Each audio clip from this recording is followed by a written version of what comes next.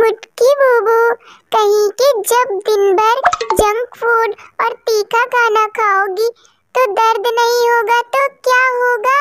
मुटकी बूबू फूबू चलो अब डॉक्टर के पास चलते हैं।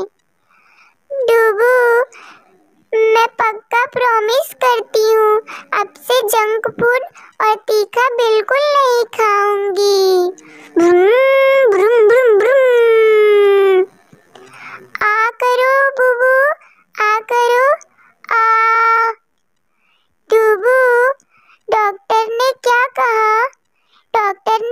कुछ नहीं कहा है डॉक्टर ने बोला तुम बुबू को दवाई दे देना बुबू एकदम ठीक हो जाएगी अब तुम दवा खा के चुपचाप सो जाओ ओके मेरे डुबू the next day बुबू yum yum yum yum yum yum